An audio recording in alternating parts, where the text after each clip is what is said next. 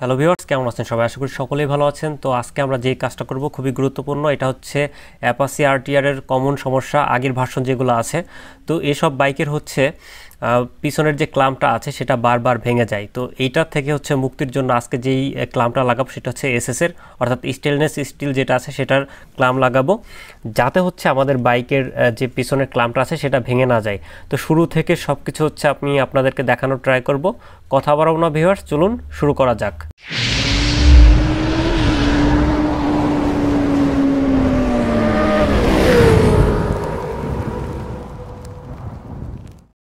Viewers এই কাজ করার জন্য আমাদেরকে যে কাজটা করতে হবে সেটা হচ্ছে যে অ্যাপাসি আর্টের যে পিছনের অংশটা আছে, সেটা আমাদেরকে খুলে নিতে হবে। আমার হাতে এসএসের যে ক্লাম আছে, সেটা দেখাচ্ছে আপনাদেরকে।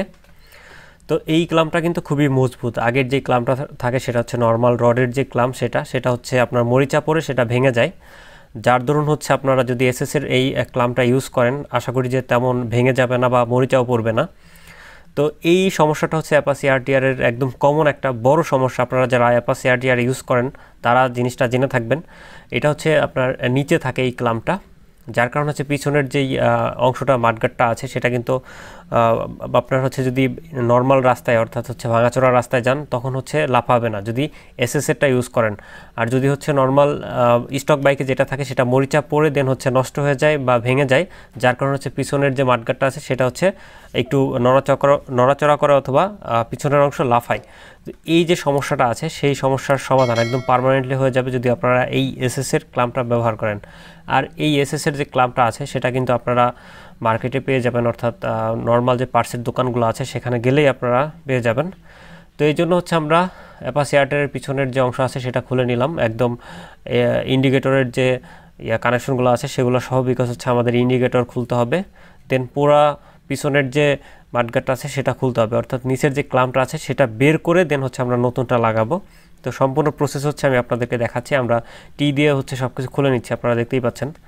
তো আমরা পিছনের যে নাটটা ছিল সেটা খুলে নিলাম। তো আস্তে আস্তে হচ্ছে প্রত্যেকটা পার্টস খুলে নিতে হবে। তো এরপর হচ্ছে আমরা ইন্ডিকেটরটা খুলে নিচ্ছি। দুই পাশের যে দুইটা ইন্ডিকেটর আছে সেগুলো আমাদেরকে খুলে নিতে হবে। আমরা খুলে নিচ্ছি, দেখতেই পাচ্ছেন। তো এগুলো আহামরি তেমন কষ্টের কাজ না। তো আপনারা দেখতেই পাচ্ছেন, খুব সহজভাবে হচ্ছে আমরা খুলে নিচ্ছি দুইটা ইন্ডিকেটর তো ইন্ডিকেটর খোলানোর পরে নিচের যেই ক্লাম্পটা আছে সেটা হচ্ছে আমাদের হাতে চলে আসবে। দেন হচ্ছে আমরা নতুনটা লাগিয়ে ফেলব। তো নিচের যেই ক্লাম্পটা আছে সেটা আমরা একটু পরে বের করে ফেলব। আমি যে জিনিসটা বলেছিলাম আমাদেরকে কানেকশনগুলো হচ্ছে ইয়া করে নিতে হবে ডিসকানেক্ট করে নিতে হবে। তারপর হচ্ছে আমরা সব কিছু খুলে দেন, লাগিয়ে আবার কিন্তু আপনাদেরকে কানেক্ট করে নিতে হবে। তো আমরা ইন্ডিকেটরের কানেকশন খুলে ফেলেছি। এরপর হচ্ছে আমাদের নিচের যে ইয়েটা আছে ক্লাম্পটা আছে, সেটা খুলে গেছে অলরেডি দেখতেই পাচ্ছেন। আমরা দুইটা সাইড বাই সাইড দেখার ট্রাই করব।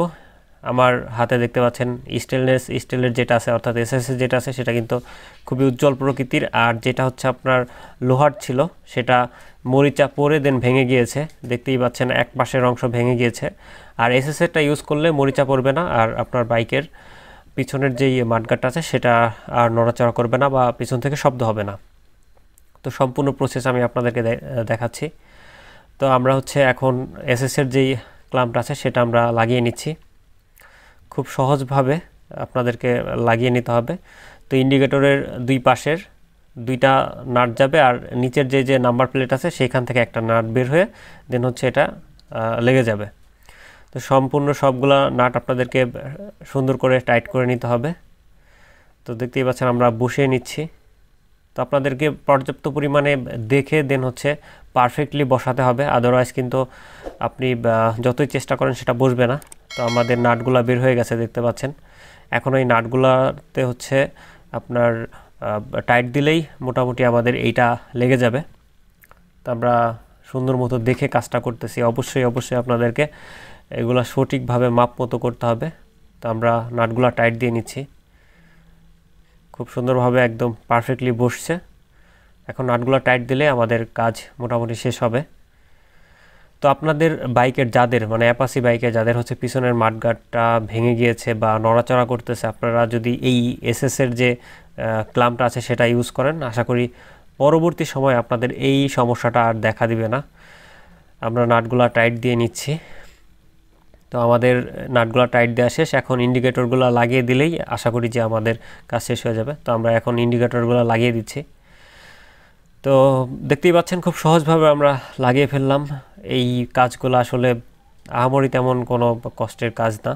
আপনার মোটামুটি যদি মেকানিক্যাল হালকা পাতলা দক্ষতা থাকে, তো এই সিম্পল কাজগুলো হচ্ছে আপনারা নিজেরা করতে পারবেন। আর যদি আপনাদের হচ্ছে একদম এক্সট্রিম লেভেলের ইঞ্জিনের কাজ করতে হয়, সেক্ষেত্রে আপনারা অবশ্যই নিজেরা করতে যাবেন না, দক্ষ মেকানিক দিয়ে করাবেন। বাইরের কাজগুলো আপনারা চাইলে নিজেরা করতে পারেন। যদি আমার ভিডিও দেখেন, অবশ্যই আপনারা এই কাজগুলো করতে পারবেন। তো দেখতে পাচ্ছেন, এখন হচ্ছে আমি কানেকশনগুলো দিয়ে নিলাম। যেই কানেকশনগুলো আমরা হচ্ছে মানে ডিসকানেক্ট করেছিলাম, সেগুলো আবার কানেক্ট করে দিলাম। তো অবশ্যই অবশ্যই আপনাদেরকে পারফেক্টলি কানেক্ট করে দিতে হবে। আদারওয়াইজ আপনার বাইকের রিস্টার্ট নিতে সমস্যা হতে পারে বা ইন্ডিকেটরগুলো জ্বলবে না। তো আমাদের কানেকশন দেওয়া শেষ। আর ভিউয়ার্স কিছু কথা না বললে না সেটা হচ্ছে আমি বাইক রিলেটেড ভিউ দিয়ে থাকি। যদি আমার চ্যানেল ঘুরে আসেন বাইকের সকল ধরনের কাজ আপনারা শিখতে পারবেন বা হচ্ছে জানতে পারবেন। তো এ টু জেড সকল ধরনের হচ্ছে ভিডিও আমি দেই। বাইক রিলেটেড আপনারা যদি যান আমার চ্যানেলে, তাহলে বাইকের সকল ভিডিও পেয়ে যাবেন। আর এই ভিডিওটা যদি ভালো লাগে, অবশ্যই একটা লাইক করে দিবেন।